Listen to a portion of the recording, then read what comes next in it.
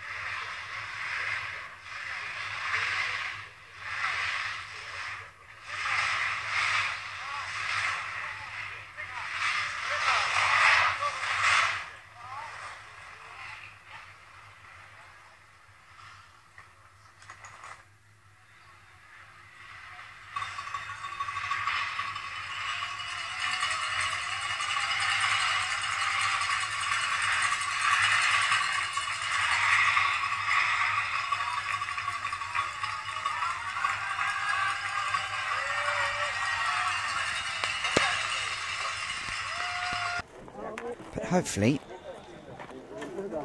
things will keep progressing. Next up, Paquita Ramirez, Capitan from Andorra.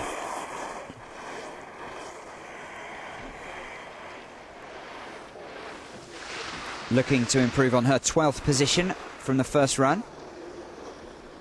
Following her guide, Manel Fernandez Flores. She's been skiing for about six years now.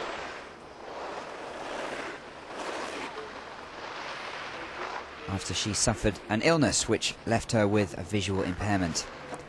She's in the B2 category, that's the middle of the three visually impaired categories.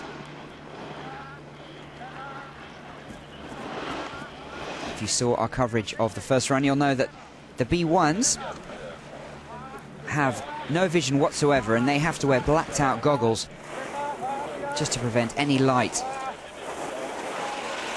sneaking in. The B3s may have some peripheral vision. The B2s somewhere in between, but all three categories are required to have a guide, which is absolutely crucial, as you might imagine. The microphone's there on both guide and athlete. It's generally the guide doing most, if not all, of the talking. But the athletes and the guides have had the chance to inspect the course, and this is, of course, their second run of the two. So they'll know it a bit, they'll have it mapped out in their heads. And Paquita skiing pretty nicely.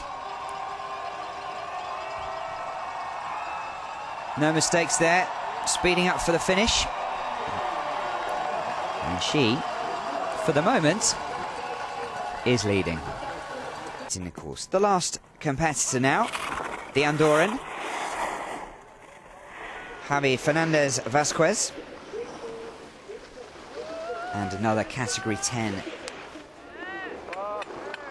athlete here. Made his debut in the 2004 World Championships in Austria. Speaks Spanish, Catalan, French, and a little English. He's an emergency operator for the fire service back home in Andorra.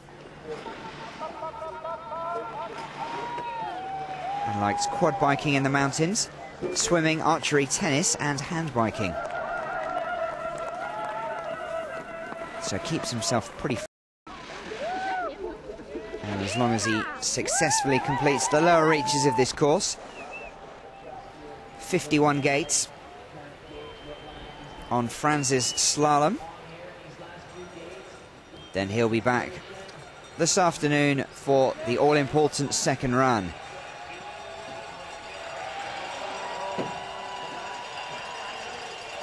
Coming down to complete.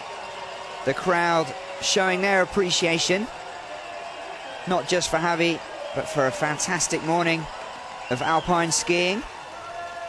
They've been in fine voice all day long.